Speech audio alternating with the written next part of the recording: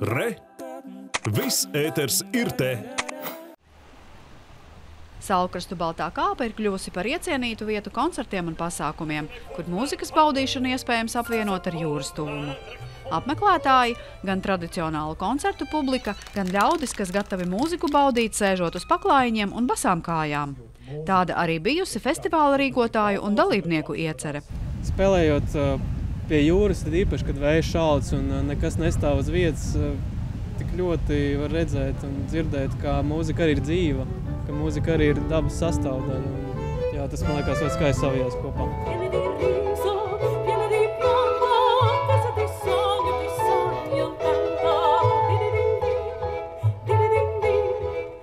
Koncerta geogrāfijā gan Ziemeļvalstis, gan Ķīna, Īrija, Portugāla un Spānija, bet vadmotīvs – absolūta brīvība. Mēs neiekļāvāmies nekādā žanrā. Mēs katrs mēģinājām atrast savu skaņdarbu, kas mums likās interesants. Vēlētos vienkārši noranžēt un tiešām uzspēlēt kopā ar foršiem kolēģiem.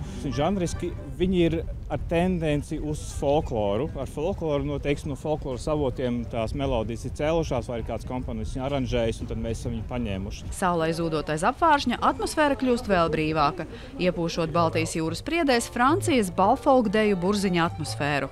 Balfolku žanru uz Latviju atveduši un kopi tieši Arkandēlas dalībnieki.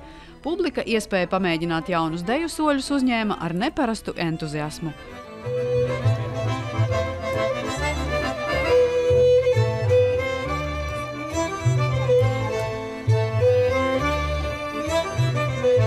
Es pēkšņi godīgi, es nebiju gaidījis to, bet uh, biju ļoti patīkami pārsteigts, tas silda sirdi, un arī mūsu mūziķiem ir uzreiz tāds cita enerģijas pieplūdums, tā kā brīnišķīgi publika bija. Patika arī varbūt neierastais pats eh, sākums koncerta, kas bija patiešām vairāk tā kā kameru mūzika, otra daļa patiešām vairāk kā deju mūzika.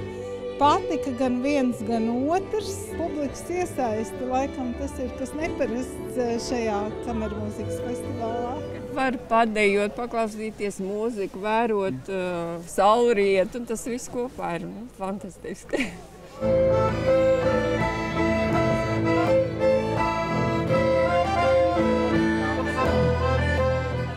Ilva Everta Zigurceicēns, Latvijas televīzija. Zane, Konstantīns,